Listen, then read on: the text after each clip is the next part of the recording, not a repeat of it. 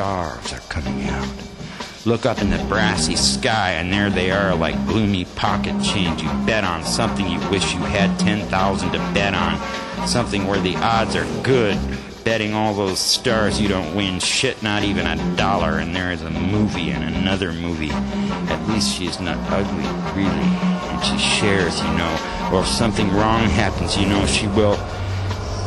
You are asking me now if this is the whole world, and I am saying it is. Check your own fucking eyes. Doesn't it hurt looking down the sidewalk at night? If that mountain falls on me, it's gonna fall on you too.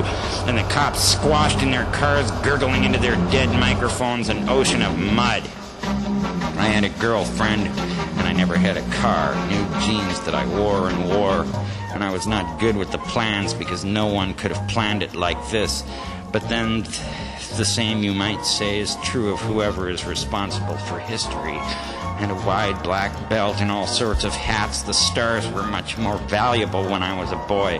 Now it is just what the no no man wants that is valuable, which is green and covered with fingers. What the woman turning and twisting sees in the night of pockets on the floor, while she hides only those parts of her nakedness too scarred to look at.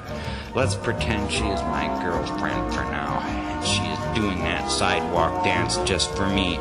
And there is no pain in her breasts, and our bodies are not battle zones. The stars are worth a fortune. You don't have to look at TV to know. I got a little cigar, and I can hear the music. It's playing right out of that door. There's a man, and he's smiling, remembering. Why don't you kids go down to the beach where it's dark? And we get on the bus, and there's nobody else.